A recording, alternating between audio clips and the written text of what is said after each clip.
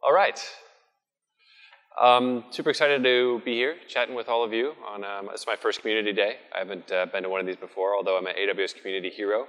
And um, excited to chat with you about this experimental architecture that I've been playing with and that we're working with at my company called Serverless Inc.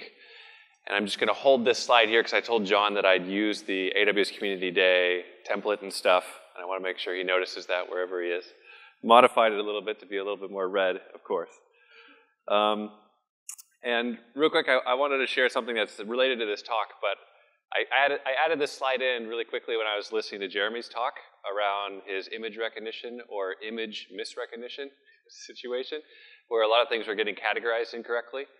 Um, last May, I did this, this crazy talk, this like super over-the-top architecture, the most multi-cloud thing that's I probably has ever been built where a photo was uploaded to AWS S3, and then that was routed through an event router to about 11 different serverless functions on 11 different serverless providers.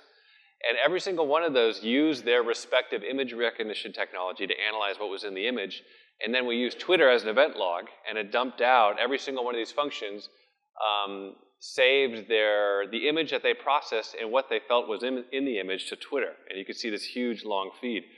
But it was hilarious because all of them had a lot of misrecognitions uh, in the talk. And if any of you are fearing the AI takeover, uh, just watch this talk and you'll, you'll feel a lot better. My favorite was uh, Watson. It looked at a scooter and it said, oh, laser guided missile. I mean, can you imagine in the future if we're living in a world where AI is just everywhere and it's categorizing scooters as laser guided missiles? That's like so many things could go wrong there. Um, anyway, it was it was a lot of fun, super over the top, but uh, but it's on it's on YouTube. It was at uh, KubeCon in Copenhagen. Um, I'm Austen. I, I, created a popular open source project back in 2015 uh, called the Serverless Framework, uh, and the Serverless Framework is become the go-to tool for building serverless architectures. Um, there's a massive community behind it. We just hit 25,000 stars on GitHub. Never would have thought we made this. We would have made this much progress back in the day. I remember, like the first time I posted it to Hacker News, someone said, "This is a horrible idea. Like, what are you thinking?" And no one was saying serverless at the time. It was just, you know, I, I looked at Lambda and I said, "This is the future of compute in the cloud. Like, this is absolutely the natural evolution of the cloud. A whole bunch of stuff can be built on this." People just need the right tool to show them the way. So that inspired the serverless framework. Um, again, just hit 25,000 stars on GitHub, massive community. 90, over 90% of all work on the framework is done by open source contributors, and it's been that way for the last year. So super excited about that. Uh, and from that, I uh, founded a company called Serverless Inc. We make everything uh, teams need to build and operate serverless architectures. Um, so if that's of interest to you, you know, feel free to go to serverless.com or just, uh, just tap me on the shoulder. Uh, all right, so introducing the serverless architecture. How many people are doing serverless things today with Lambda? Ooh, that's a lot of people. Cool, awesome.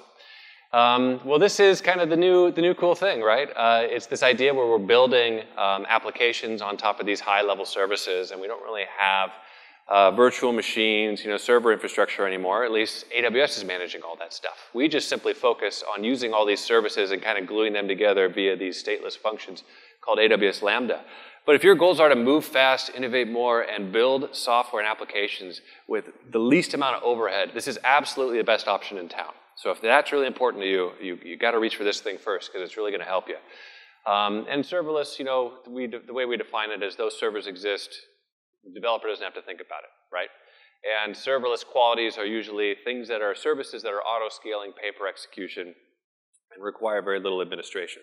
So anyway, this is the serverless architecture fantastic for so many reasons. Uh, back-end APIs, generally, general microservices, um, any type of event-driven automation, data processing pipelines, voice bots, chat bots, um, all types of stuff. When you, when, you, uh, when you take away overhead, you liberate productivity and you liberate creativity. I see teams every single day provisioning hundreds of functions, doing all types of cool stuff with serverless architectures.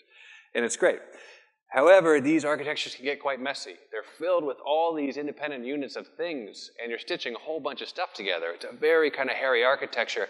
And probably few know that better than me because I've been building this serverless framework for years, that basically is trying to abstract all the complexity of provisioning these things, handling permission management, and wiring it all up together. So you don't have to think about that. You could just go home, write some code, run serverless deploy, and have your, your vision, your, your meaningful thing be deployed within seconds. Um, but there's a lot of stuff you have to be concerned in this type of archi- uh, about in this type of architecture. You know, API gateway. You know, what permissions does that require? It has its own stages concept. If you if that's a value to you, Lambda. Every single Lambda function has its own permissions model. Um, there's an alias feature that you could also use for st- uh, staging. Uh, there's dead letter queue settings in your AWS Lambda function in case the Lambda function is down. Um, DynamoDB. Uh, you may want to hook up streams if you want to connect that to another Lambda function all these things are kind of stitched together, and in that, just with that whole architectural premise, there, uh, comes a lot of complexity. So, um, great architecture, a lot of challenges still, and then that's just putting it together. And then a lot of questions arise as to how do you actually observe this thing? How do you do root cause analysis? I mean, um, there's there's a lot of you know a lot of complexity here. Uh, also, uh, modern organizations. Um, this is what I see a lot. I see you know a lot of silos. Uh, focused on different domains. So there's you know, your developer groups, your operations teams, your marketing teams. And however, this can also get quite messy. A lot of these teams are in silos. They never talk to each other. Um, they have a hard time coordinating things. They need things from each other, um, but because they're in their respective silos, uh, it's hard for them to get those things. And a lot of this is about data. A lot of this is about information at the end of the day. So in this architecture, I'm raising these problems because in this architecture, what inspired this architecture is focusing on these two problems. It's technology, it's simplifying the serverless architecture, and it's also focusing on cultural issues around teams. And a lot of these people, they have great intentions and they want to do exceptional work, um, but they just can't get the information, the things they need from other teams, especially around data, to just go take initiative and make something based on that information, that data. So, introducing the serverless red architecture. Uh, perhaps the solution to these two things. Um, this is just something we're experimenting with right now. Uh, but red is for reactive and event driven, and of course, this whole thing is built on serverless infrastructure. So, we could build a reactive event driven architecture with the least amount of overhead. Um, in this architecture, all data is expressed as events first. Anything that could happen is an event. And I'm really going to push the limits of that in this demo, um, which I'm going to do later. And all these events must be easy to access, analyze, and act upon. Uh, people should be able to just reach out, grab these events, and write code to react to them, to respond to them, whether they're analyzing them, whether they're acting upon them, or building their own type of automation. Um, it's really just an event-driven architecture at the end of the day, uh, with one kind of big, big substantial difference, and that is you have this event router, uh, which all the events are funneling through. And this is kind of what we're going to use to simplify that whole serverless architecture that I showed you earlier that has a whole bunch of things that are all glued together. Um, in this, you simply have connect sources, anything that could uh, publish events uh, to the event router, and the event router is going to pass them through to uh, any type of sink. Could be functions, could be AWS Lambda functions, could be AWS Kinesis, could be uh, Redshift. Um, and with this, we could solve a lot of problems across a lot of domains. So first off, we could build our applications and handle our basic application logic this way. You know, take a user-created event, write a function to react to that. Uh, you could do analytics, uh, tracking, kind of um, business intelligence, marketing stuff with this, with this event-driven architecture. So if a visitor visits your website for whatever reason, that should be exposed as an event, which you could write code to react to. Uh, DevOps tasks. Um, if someone created a new deployment, that should also be expressed as an event, so someone could write code to react to that. Error handling. If something is wrong, if perhaps a function invocation if a AWS region is down for whatever reason and you cannot access a function, that should also be raised as an event so you could write code to handle that situation. Um, and then just basic kind of company ops situations. Maybe a new team member has logged into a service and you want to write some automation to react to that. Uh, all these things. Um, this architecture is about pushing the limits as to what we think can be an event and making sure that's accessible to everybody so they can simply write code to react to that. Uh, and remember this? This was all the rage in 2014, and I, I was a big fan. Um, and I don't know what happened, but I just don't hear about it these days a lot. I think um, a lot of other stuff is, is taking up mind share. Uh, but yeah, 23,000 people signed this thing, and this was all about building kind of message-oriented, decoupled systems um, that were entirely reactive. And the great thing about this right now is that AWS Lambda makes this more possible than ever. Uh, again, it has never been easier, thanks to Lambda, to write code to react to anything that happens. Right? You just write code, you upload it, set it, and forget it. And uh, I think we should revisit this goal. And I don't know what these people who signed this are doing today, but um, hopefully they're, they're, they're going to watch this. Uh, also, what was that uh, event router? Um, our company makes an open source event router for serverless architectures, so you can go check it out right now, uh, github.com slash serverless slash event gateway. Uh, also, you could probably build your own version of this depending on your specific needs with AWS services. You could probably create something like this using API Gateway, uh, using SNS for pub sub functionality, and AWS Kinesis for some sort, sort of storage. Um, okay, so I'm going to jump into a demo real quick. And again, we're going to try and do a couple things in this demo. This demo is going to be a basic web application that's designed totally on serverless infrastructure and is de designed to be totally reactive. And with it, we want to try and simplify that serverless architecture that I showed before. Uh, we want to try and democratize data. We want to make sure that these events, again, are accessible easily so anyone could analyze them and act upon them. And with that, we want to enable total reactivity. People should be able to just pull in events and write code to react to them and the, hopefully, the outcome of this is that those teams, those people who are separated by silos, can gain access to the information, the data that they need, so that they can go take initiative, be autonomous, and go make things happen. Whether they want to innovate a new feature, uh, whether they want the marketing team wants to do some analysis, whether the operations team needs to handle a failure scenario. Okay, so here's the here's a basic serverless architecture for this web application. This is the non-reactive version. Uh, there is a website that's hosted on S3. That website is going to reach out to, um, well, the use case here is a, a sign up form. Basically, users just sign up for this thing. There's basic users CRUD on the back end. Um, and that's being saved to a DynamoDB table. And whenever a user um, does anything, it's run, uh, whenever a user, user state is saved in DynamoDB, um, that's passed off to a DynamoDB stream, which a, another Lambda function is listening to and is routing off that information to SNS, um, which there's potentially an analytics function listening to. So basic users CRUD web application um, with kind of some pub sub involved so that you could write other functions uh, to respond to this. Here is the different version that we're going to show off today. Uh, this thing just uses uh, the event router. Um, and the website publishes events directly to the event router. Uh, there's really no API. There's no REST API or anything like that. Uh, the website is just sending, from the client side, it's just sending, doing HTTP requests to the event router, and it's not calling a specific path. Uh, it's only using the base uh, path as well as a post method. And in the body, there's a JSON object uh, that is the event that's happening. So on that event router, there are subscriptions whenever this event type comes in, user created, um, user updated, user logout, uh, those subscriptions are saved in the event router, and uh, those subscriptions say, bind the event type to specific functions. And I'll show that off in a second. So we're going to try and recreate the basic user's uh, CRUD backend, um, but also using this piece of infrastructure, uh, the analytics function is just going to listen in directly to that, that piece of infrastructure. Uh, we're also going to try and add in some DevOps functions to handle some failure scenarios and just kind of make this point. Anything is possible with this architecture. All right, here's the demo. Um, Got to thank the, uh, pray to the demo gods, of course. And here we go. All right, here's the, the web application.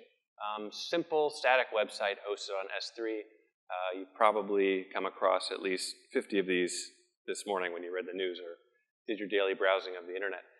Um, again, very simple web application. It's just kind of advertising this architecture. There's a user sign up uh, form here uh, and some simple buttons, but these buttons don't really do anything. I'm going to open up my console uh, so you could kind of see what's going on in here. So uh, every, this, this client-side app is built in React uh, and Redux, which is also event-driven. And I built some Redux middleware, which is listening in to all the events that are happening on the UI and selectively sending them up to the event router. And the event router, based on the subscriptions for those events that are being sent up, is distributing them to different functions that I provision. On the back end here, uh, I have some basic serverless framework projects. Uh, we have a few different services within this application. First off is a user service, uh, and in here, there are three functions. There's a create user function that saves a user to a database, uh, returns a session token. Uh, there's a get user function um, that takes a session, session token and pulls in the user information, and an authorization function. Uh, you can see all the events, too, that I'm registering in this serverless framework project um, when you run serverless deploy, all these events get saved to the event gateway uh, so that it knows that it should actually do something with them. And then you can see how the subscriptions are binded up right here. So in this service, there's simply a user create request event that's published to the event router. Uh, the event router then um, calls the create user function, and it does it synchronously. This event router is designed to handle subscriptions synchronously and asynchronously. If it's asynchronous, uh, the event router will pass the event to the function, uh, and it won't do anything. If it's synchronous, the event router will pass the event to the function and wait for the function to respond and pass the event back through to whoever published it. Um, so two simple subscriptions, but registering a lot of events because I want to make sure other people can access these events and other services. Uh, next up, I have an analytics service. Uh, in here, there's simply one function. This is just a generic tracking function. We want to track uh, user activity.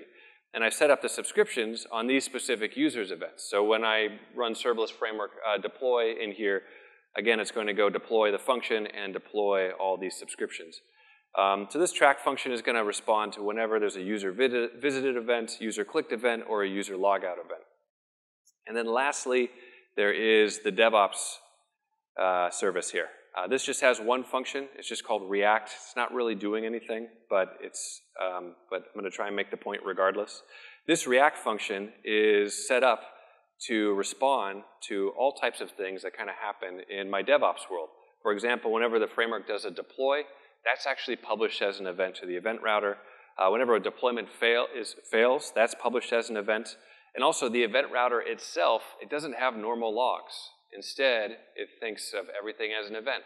So it takes those logs, expresses them as events, and publishes those logs back through the event router. So anything that goes wrong in that router uh, is actually an event which you could write code to react to. And I'll show this off right now. So first off, increase the size here. Here is our basic web application. I'm going to go ahead and sign up.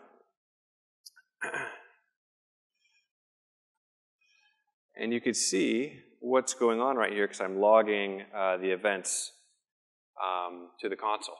So this client-side app published the user create request event. Uh, that went up uh, to the event router. The event router passed that on to a function. The function then saved the user in a database and passed it back, um, back to the client side. Uh, after, afterwards, um, the, the uh, client-side application then published a user created event. It sent that up. so basic kind of back-end client-side communication. Again, there's no REST API here.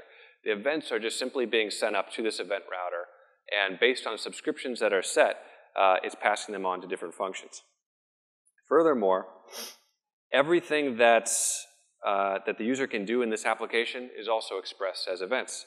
So for example, whenever I click any of these buttons, um, events are also being published up to the event router, the event router is then passing that off to that track function uh, that I showed you all just a few minutes ago.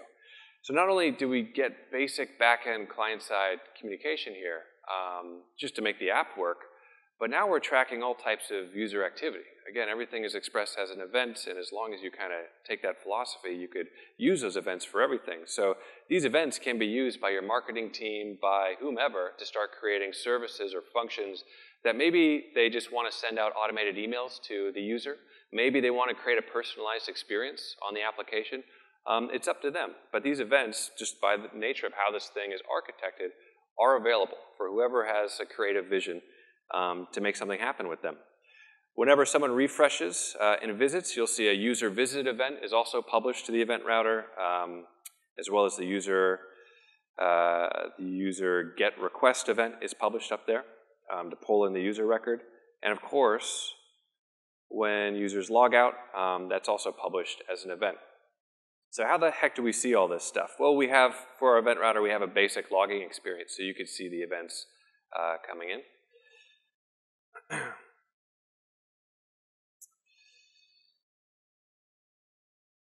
and I'll show you the logs in just a second. Okay, here we go. Um, you can see the, the logs coming in, all these different events uh, right here. So for example, here's the user clicked event. I could open this up, um, inspect it. Uh, there's some basic information about the session token that the user used uh, in the event body. Um, I did a lot of user clicked events. Uh, here's the basic user get request event that came in and the user logout event as well. Uh, so you can see all these things kind of are actually be de being delivered to the event router. The event router is logging them. And again, whenever the event router does anything, uh, it, and emits logs, again, those are expressed as events. And so you can see uh, whenever an event comes in, it also publishes an event received event. Uh, whenever it successfully calls a function, um, it publishes a function invoked event. And even when it's invoking a function, it publishes that. So basic event-driven workflow uh, with a lot of stuff. Again, back uh, client-side to back-end communication, uh, as well as now we're getting all these, um, all these marketing uh, uh, events, all these user activity events just out of the box. And lastly, I want to show off the DevOps stuff. Um, so let's do this. In my analytics, um, in my analytics uh, function here, it's pretty simple. It's not really doing anything. Again, you could, build, you could personalize the user experience based off events. You could do send marketing automation, uh, you know, send a notification to your salesperson. Um, but this isn't doing anything yet. However, we're going to do something interesting, and we're going to create a function that does not work. This function uh, will fail uh, whenever the event router tries to call it. So I'm going to publish this, um, deploy the new function that throws this error. I believed I saved that file change before I hit deploy. And the reason I'm doing this is because we want to show off how to automate some operations issues. So that function was just deployed, uh, and I can go look at um, this specific event. So again, whenever the event router uh, cannot access a function because the function is down, it publishes this invocation failed event. Again, that is another event that you could write code to handle. Um, so let's just take a look at this and hopefully uh, I did the deployment correctly. Um, but the way the workflow worked is that when the user clicks any button, uh, it's going to publish a uh, user clicked event. Uh, that is what the uh, tracking function was subscribed to. And again, that tra tracking function does not work. So let's kind of see what happened. I just clicked the user clicked event. I'm going to click button. Then I publish the user clicked event. And uh, you could see the log showing up right here. So here's the user clicked event. Uh, we received it. Uh, the event router tried to go ahead and call the function, um, but it published this function invocation failed event. Let me refresh because I don't think I gave it enough time. Um, so one thing we haven't added in here is, is ordering. Um, so observability is, is still a challenge, but it's coming. And here's the user clicked event.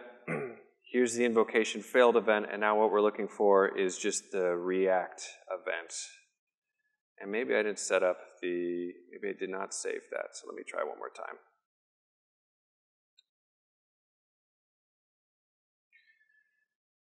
Demos. All right, let's give this one last shot, and then we'll see if it works.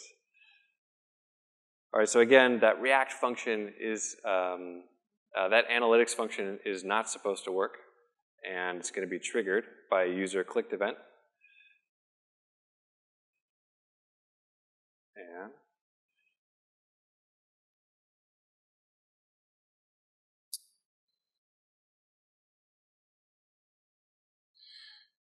All right, well, looks like we can't get it to work. I don't want to try and figure, troubleshoot it in real time. But you could see the basic, um, you could see the basic workflow here. The user clicked uh, the button, that published the user clicked event to the event router, uh, that handed it off to this analytics dev uh, tracking function, and that function did not work. So the event router published this invocation failed event, um, and then I wrote a function to respond to um, the invocation failed event. So uh, but that's not showing up here. But what you can do with this is you could write code to handle these failure scenarios. Uh, for example, um, if the AWS, if the region is down in AWS, you could write a function that goes reconfigures the event router to point to a function in a different region. You could write a function to go send a notification to your DevOps team, say, hey, uh, this isn't working. Um, you could do anything. And that's the goal of this whole architecture. Uh, again, I think we accomplished most of these. Simplify the serverless architecture. Again, there's just like one simple event router that everything is routing through. Uh, democratize data uh, based on kind of the way the serverless framework works and the way just event subscriptions in general work. anyone can reach out to these things and write subscriptions to make something that happens. Uh, and hopefully they use that um, to write, to, um, to build reactive systems and encourage a ton of autonomy. Um, but that's it. If you like the project, you can go check it out. It's open source. Uh, it's not totally finished, um, but I'm going to share it anyway. So if, you, if you're interested in this, you can go ahead and follow it along. Um, and that's it. So thank you.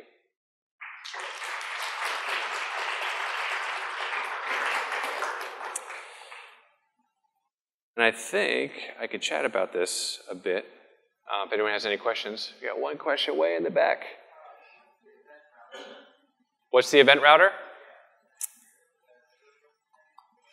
Indeed, it is an open source event router written in Go, um, and it's not called Event Router, it's called Event Gateway. Um, and you could, you could run it yourself uh, pretty easily in Kubernetes. Um, at the last KubeCon, Kelsey Hightower, pretty popular evangelist, did his whole keynote presentation on this, and it was all on running this in Kubernetes. Um, but it's designed to integrate with all types of sources, uh, whether it's webhooks coming from Salesforce, whether it's Kinesis, whether it's Kafka. Uh, you, can, you can get all event data from anywhere and route it to AWS Lambda. You could route it to Kinesis. You could route it to uh, Redshift. Uh, but we also have support for other functions across clouds. So Azure functions, Google Cloud functions, and I kind of showed off in that first slide how far we took that. Um, so really the possibilities are, are pretty endless. Um, but yeah, open source, you can run it right now. We have a hosted version, serverless.com, if you want to just start using it uh, without operating it yourself and use the serverless version, um, just go sign up, sign up over there. Yes, sir.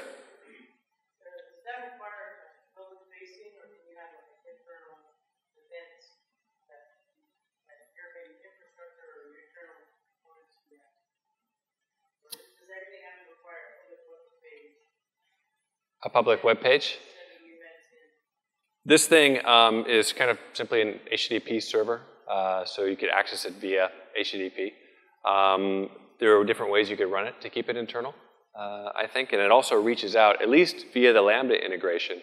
It's not calling Lambda through a publicly accessible endpoint. It's calling Kinesis and Redshift and Lambda uh, directly via an IAM role. Um, so that stuff isn't exposed as long as the event gateway itself isn't exposed. yes, sir?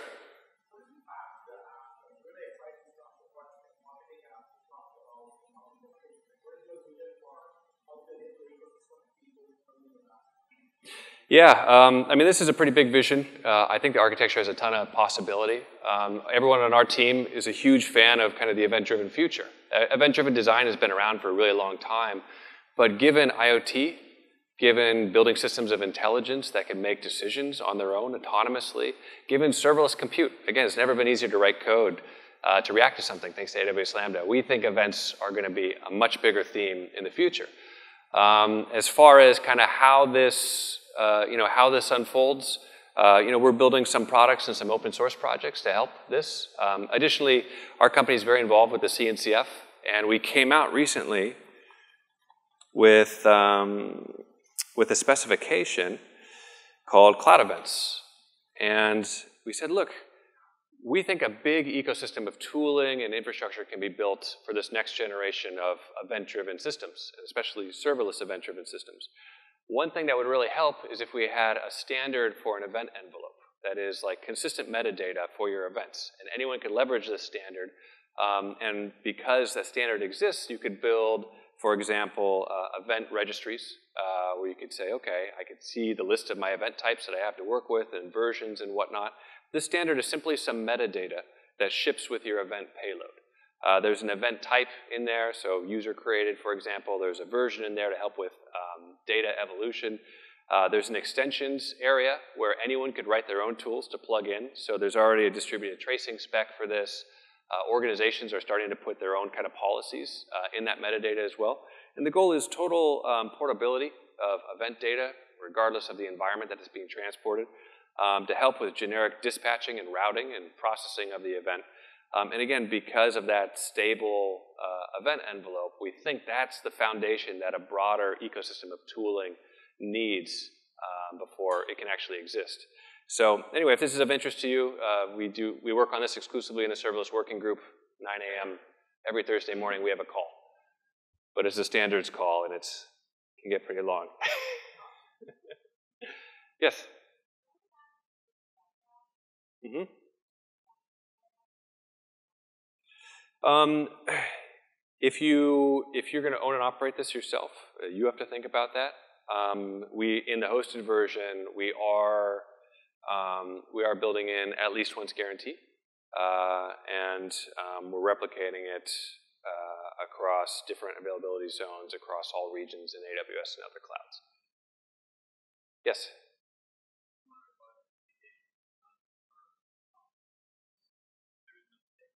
Mm-hmm.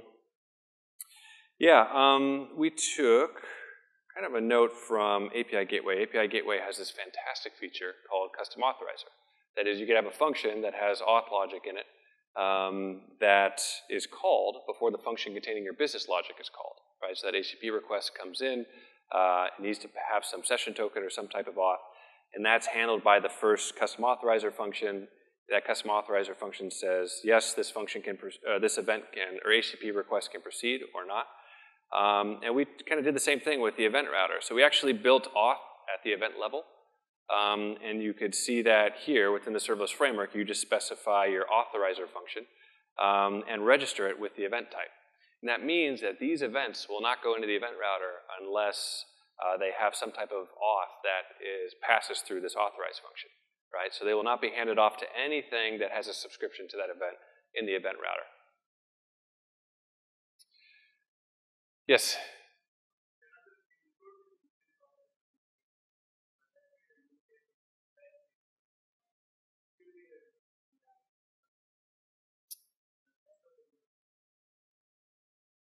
Yes, I think the question was um, pulling in a actual some state, a user record. Um, the way that was handled in this is that there's uh, a get user uh, function, um, and there was a subscription. So an event was published from the website, a user get request event. That was published to uh, the event router. The event router looked at that and said, oh, I have a subscription to the get user function, and it handled it synchronously. With that, in that get user function, uh, there's a DynamoDB table uh, containing session tokens. Um, and it's going and taking that session token and pulling the user uh, profile and passing that back through the event router and back to the website. Does that answer your question? Yeah. Okay. Um, I think that's everything. Thank you all.